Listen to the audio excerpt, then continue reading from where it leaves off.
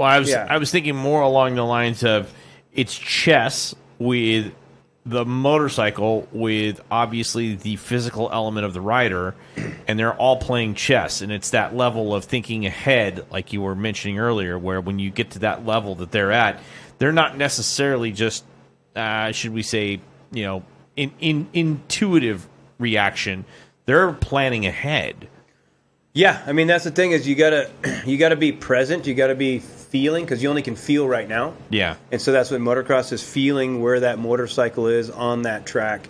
You know, so you have to be there. Yeah. But then you also have to be ahead by planning ahead, by knowing that I need to hit this berm to be over there to miss this bump so I can get enough momentum to hit that jump.